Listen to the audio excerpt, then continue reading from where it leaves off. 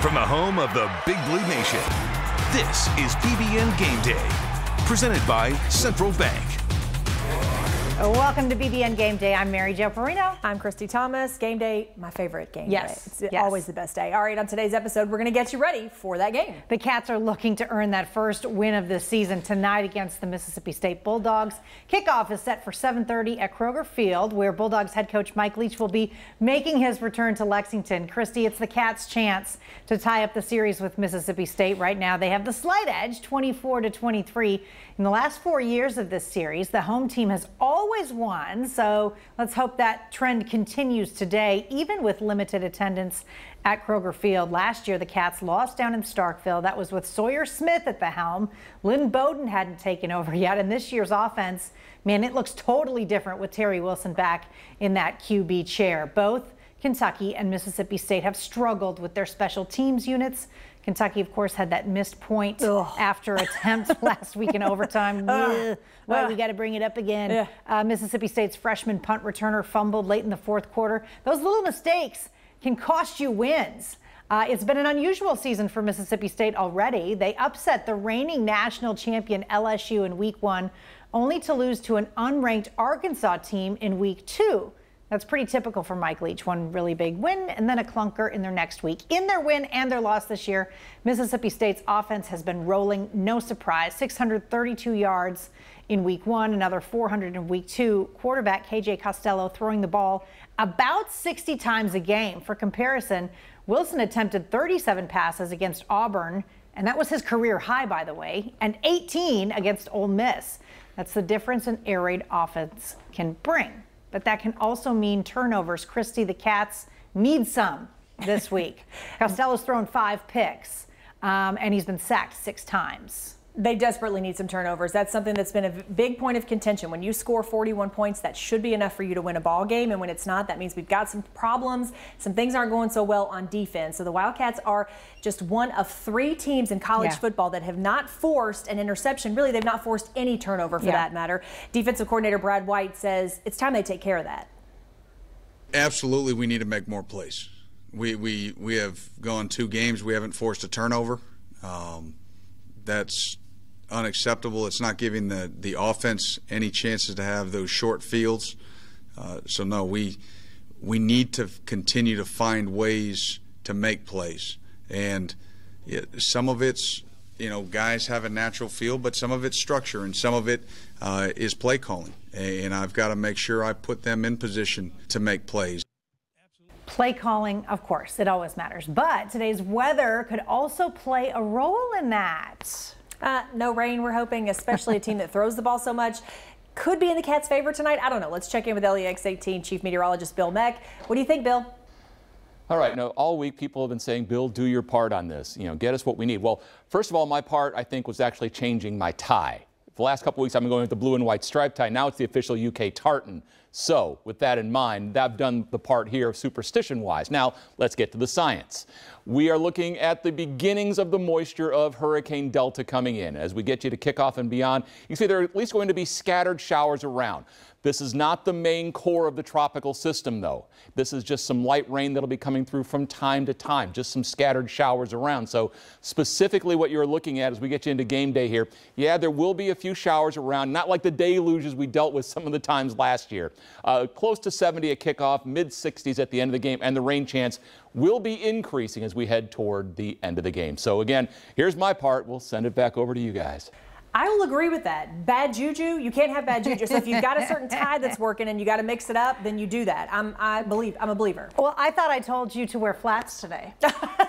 no, well, I, I mean, we haven't won when you've been towering yeah. over me, so let's let's change that. Galoshes for both of us this weekend, yeah, maybe. There you go. Well, we talked about the differences in week one and week two for Mississippi State. One big one is Kylan Hill. He had almost 200 yards on the ground against LSU, but went down after a hard hit in the first quarter of that Arkansas game did not return. He is expected to play today against the Cats, and he torched them last year, racking up 120 yards and three touchdowns. When the Bulldogs beat Kentucky last season. Uh, Christy, we talk about how much Mike Leach loves to throw the ball. But when you've got a weapon like Kylan Hill in the backfield, you you got to use him at some point. Absolutely, and they why wouldn't they? To your point, but I think we're also at this place we're at a crossroads with our defense here, where they've got to figure some things out. They're really looking for an emotional leader. They've got athleticism, they have size, they have experience. There's no reason why they can't or are not making plays. It's going to be huge for the secondary to make plays, but now we got to go to those guys. The big boys on the line have got to make some noise tonight and make sure that they're watching. And uh, and, and a guy like this, you're exactly right. He's dangerous. Yeah. So then you got UK on the other hand. They're down a running back. Kavosiey Smoke is out today with a rib injury. He left last week's game before halftime. Did not return. Mark Stoops says he could be out for a couple of weeks. So good thing you've got a real big stable of running backs here. Chris Rodriguez was great. He was so great. Of course, you've also got AJ Rose. And I would not be surprised, as Eddie Gran said, if we see some freshmen today, whether it be Travis Tisdale, JuTahn McClain. Uh, we're going to see those guys in the backfield at some point this year. Chris Rodriguez played so well against Miss, Ole Miss after Smoke left the game. He had 78 of his 133 rushing yards in the second half in overtime. Rodriguez knows he'll probably see just as many, if not more, snaps this week without Smoke available as a backup, but he also knows he won't be the only one stepping up to the plate. So he was probably the next backup, but I mean, we all have our roles or whatever. Uh, JuTahn and Travis, they've been working their butts off every day since the season started, and uh, I, I don't know, they might get some playing time this week. That's JuTahn McClain and Travis Tisdale, of course, as Mary Jo mentioned. They're two freshmen, but offensive coordinator Eddie Gran says their age won't prevent them from seeing playing time this week. You know, I'm excited about those two youngins, uh, you know, and I'm, I'm, excited to see how they're going to uh, approach practice, approach the you know learning your opponent and, and really understanding what the game plan is going to be at the end of the week. Uh, so I'm, I'm not I'm not afraid to put one of them in. This is really what you're working for. You're working for depth in every position. Running back is no exception for Kentucky. They've got plenty of guys that can step up. I've listened to Dusty Bonner talk an awful lot about Travis Tisdale. He's from down his neck of the woods. Yeah. He really likes what this kid brings to the table. Yeah, I think it'll be exciting to see some of that uh, freshman play. We just we the defense has just got to find a way to win games when the offense puts up, you know, 41 points. That's right. Got to win when you score 41. Coming up next on BBN Game Day, we're going to talk with Kentucky's defensive line coach Anwar Stewart. How are his guys preparing for today's game? Stay with us. You're watching BBN Game Day, presented by Central Bank and sponsored by Coca-Cola, Kentucky Farm Bureau Insurance, Kentucky Select Chevy Dealers, Kroger, Lexington Opera House, and Papa John's. When you're out recruiting, a phone call doesn't always cut it. You have to be there face to face. It's the same with banking. That's why I chose Central Bank. At Central Bank, it's easy to stay connected with online and mobile banking. But when you need someone to talk to or a quick decision made, we're right here with the products and personal service to help guide you toward your financial goals. Think local. Grow local. Bank local and put Central Bank's local advantage to work for you. Love getting prices that are lower than low on food that's fresher than fresh? With the Kroger app, you can get personalized coupons on top of weekly sales and rewards like fuel points, all for prices that are lower than the everyday low.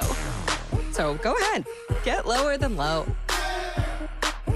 Kroger, fresh for everyone. Happy Kentucky Farm Bureau has been insuring folks for more than 75 years. So we know Kentucky. Case in point, we know the happy birthday song was written by a pair of Kentucky sisters. The whole song lasts only about 15 seconds. yeah, good thing. Kentucky Farm Bureau Insurance. Big on commitment. You're watching BBN Game Day, presented by Central Bank. Welcome back into BBN Game Day. Kentucky's defense faces another high-powered offense when they kick off with Mississippi State. It just keeps coming. I know. These I offenses. I talked with D-line coach Anwar Stewart about his squad's preparations for the matchup at Kroger Field. Coach, I know you're really looking forward to tomorrow because you got to get that first W. And once that happens, I really feel like, you know, uh, things are going to be looking up. But I know you need tomorrow. No doubt. You know, it's a really big game. Just like every week, it's a big game for us. Uh, you know, just looking back, you know, the last two games, we feel like we should have won those games. You know, uh, you know, just little things that you know we have to continue to correct. But you know what? Overall, guys, a great spirit, and uh, we're excited about getting out tomorrow and performing. When a team throws it as much as Mississippi State does, you know, 50, 60 times a game, maybe, how important is it for your guys to get pressure on the QB? Run or pass is very important for us up front. You know, to play physical, uh, play fast, and so it's, it's very important. You know, Coach Lee's going to spread that ball around, and so we got to get to the quarterback, and so that's been a huge emphasis this week. Uh, you know, they don't run the ball very much. You know, they have like three top runs, and that's it. And so uh, the emphasis of this week is getting to the quarterback. Uh, they don't run it much, but when they do, Kylan Hill can be um, a really dangerous guy to try to get stopped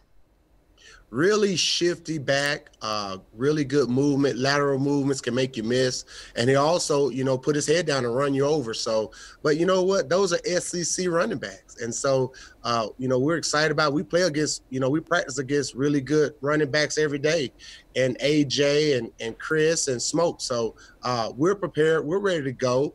Uh, and we're just going to go out and just be physical. You know, when they do run the ball, we're going to be physical, stop them. Let's get them in second and long, third and long, and let's get after the quarterback. What have you seen from your guys on the line so far this year that's really impressed you?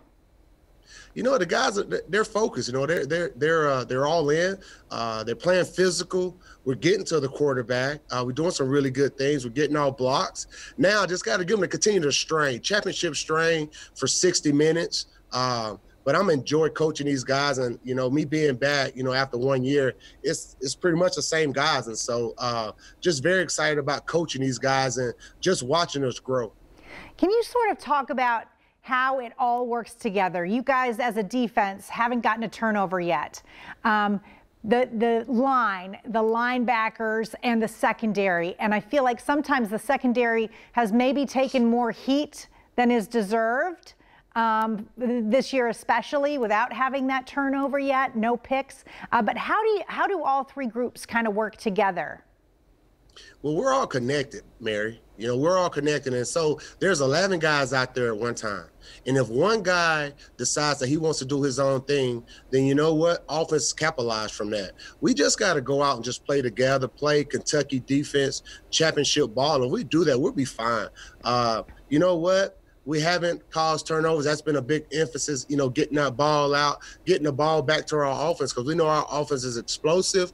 Uh, you know, playing a team like this, you know, we want them to run the ball as much as they can so that we can keep the ball out of Coach Leach's hands. So uh, we want to get that ball back, and we're going to cause turnovers tomorrow. We're going to fly around. We're going to have fun, and uh, and and and and you know, hopefully get the victory. Morale of this team right now still pretty good, would you say? Yes, man. We got a great group of guys. Great group of young men. They love ball. They love each other. And so, and we know that we let these two games slip away from us. And so we know that this is the SEC and we got to go out and give it everything that you have and be detailed in your work every day, every practice, every play. And that's what you have to do. And that's what we're learning. And so uh, the guys are great. They understand that, you know, what we got to do in order to be successful, and they're all in. Coach, the next opportunity comes tomorrow night. We can't wait. Thanks for being with us today. Yes, ma'am. Thank you. That strain, that championship strain, yeah. I really like that. That's yeah. the next level of what this team needs to do. All right, yeah. when we come back on BBN Game Day, get your sirens ready if you want to play along with us. That's because we have Mike Leach, former UK assistant coach, current head coach of Mississippi State, and the loudest proponent of an air raid offense. Stay with us. Today, tastes like a home game, like a huddle. Tastes like we're bringing the heat, and like a front row seat.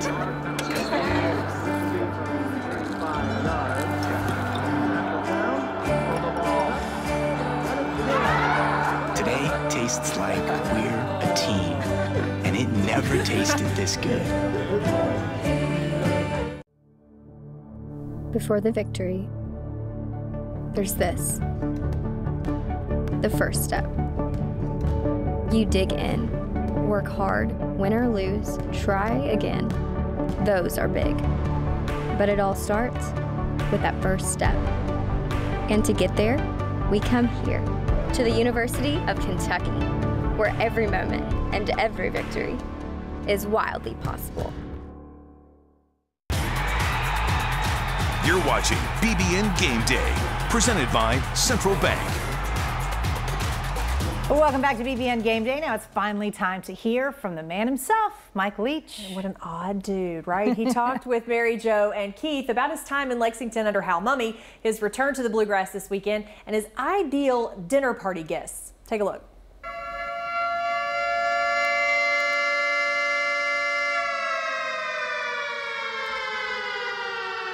The air raid returning to Kroger Field. We are fortunate enough to be joined by Coach Leach now on the phone uh, from Starkville. Coach, how are you doing?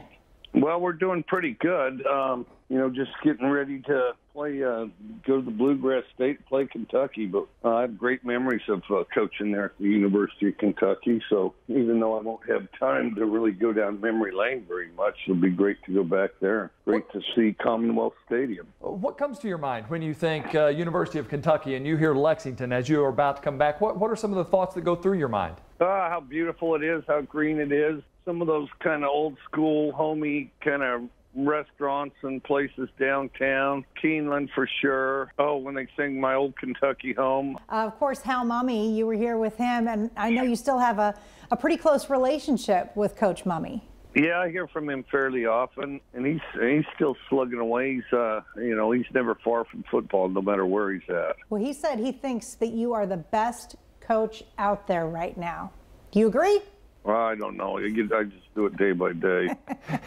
some days I might work my way that direction. Uh, some days not so not so well. You know. I think it's. I think football's just kind of a, a constant series of improvements. You know, I think you just constantly improve, constantly keep plugging away in one increment at a time, and uh, just try to be the best you can. And, and the more you do that, the better you're going to be. Coach, we know you're not giving away the game plan, but how does the air raid look different from when you were here as an assistant to where you are now at Mississippi State? You know, it's really quite similar. That's kind of a difficult question for me to answer because, yeah, there have been some subtle changes. I just don't remember when they were made, you know, and I don't remember exactly what. Uh, generally, a technique, generally here or a tag there, something like that maybe the occasional new play, not that often. It'll look similar for sure. And then, you know, you just try to hone it sharper and get it better. You know, I think that because football, no matter what side of the ball you're on, it's, it, I mean, it's not about fooling the other guy. I mean, that might happen and you're happy when it does. But in the end, you got to survive on execution. You have to be able to execute. How has the transition been for you to come back to the SEC and to be in Starkville? Uh, it's been good, other than you know you got this COVID, all the interruptions with COVID and the distractions that that provides. You know, the ultimate relief to your day and to your coaches and your players is when they get to be together out there practicing, working, or meeting. And I do think that uh, guys are embracing it more now than ever, you know, simply because uh, it was something that was almost taken away from them. Everybody's excited to play and everybody feels privileged that they get to. And so, you know, hopefully uh, that's uh, able to go forward and, and we don't have too many obstructions on that. Coach, earlier I said that if I was at a dinner party, I'd love for you to be sitting at my table. Um, who would you have? Is there three or four people you'd have at your dinner table if, if you could pick those? That's a tough question. Uh, it depends if the, whether they're alive or dead. Of course, you take uh, Christ off the table because that's just too heavy, like duh, of course, or any deity, any deity, because any deity's unfair, you know, because everybody would select that. I think, well, first of all, Geronimo, who I wrote a book about, definitely would I'd want him there. George Washington would be a good one. I don't know, maybe Winston Churchill. I mean, it changes all the time it kind of changes all the time based on what I'm reading or what I'm checking out. That would be fascinating, though, if he could manage to do it. Dinner parties just get the guys together and, and get to know people from different walks of life.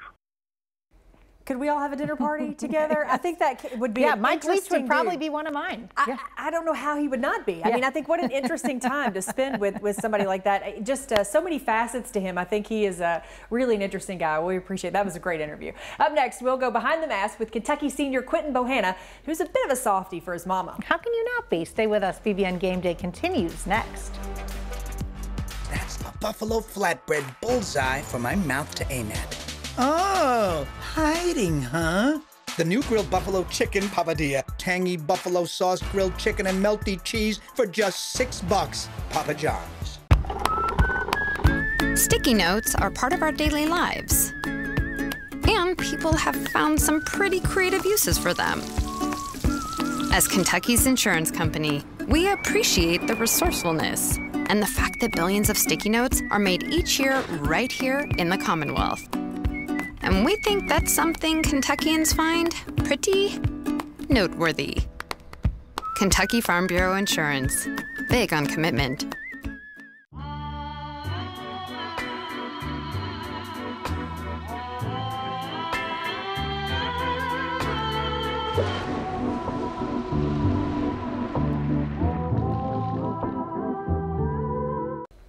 Welcome back to BBN Game Day. Kentucky senior nose guard is, you know, big. He's a big guy. He's listed at 6'4", 357 pounds, but he only likes his bed and his mama. He's oh, not sorry. What's not to love about that? Let's go behind the face mask with Quinton Bohanna. Bohanna, Memphis, Tennessee, defense tackle. My major is communications. I want to coach after football. Like my mom, a hard worker. She a hustler. She put that in me to want to be something and go out and get it. Don't depend on nobody. So that's what she mean to me. She my everything. I want to dominate and you know make teams be like he the player to watch out for when they look for Kentucky and you know fulfill my dream of playing in the NFL.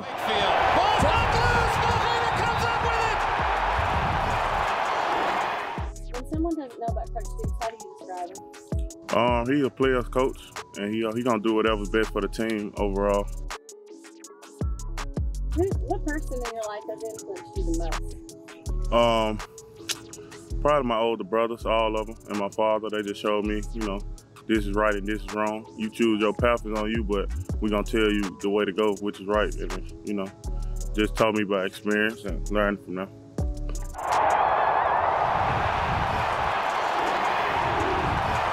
Since I can walk, this all I've been doing, been around, studied, watched. So I just love it. My uncle put me in it when I was four, and I ain't missed a season since. We need a big day out of you, big man. That's Up it. next on BBN Game Day, we will get you ready for tonight. That includes our Coke Play of the Week. Don't go away. It's Chevy Truck Month. It's Deck Building Month. It's Toy Hauling Month. It's Explore New Ground Month. It's the month to get things done. Make it your own and make every month Chevy Truck Month. Get $4,500 cash allowance on all 2020 Silverado 1500 Crew Cab pickups. Plus, now during Truck Month, get a $1,000 accessory allowance towards the purchase of eligible accessories. See your Kentucky Select Chevy dealers. Love getting prices that are lower than low on food that's fresher than fresh?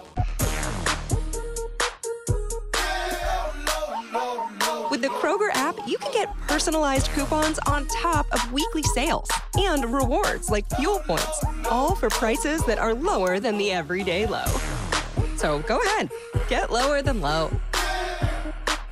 Kroger, fresh for everyone.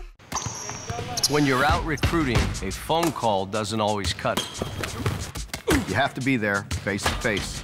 It's the same with banking. That's why I chose Central Bank. At Central Bank, it's easy to stay connected with online and mobile banking. But when you need someone to talk to or a quick decision made, we're right here with the products and personal service to help guide you toward your financial goals. Think local. Grow local. Bank local and put Central Bank's local advantage to work for you.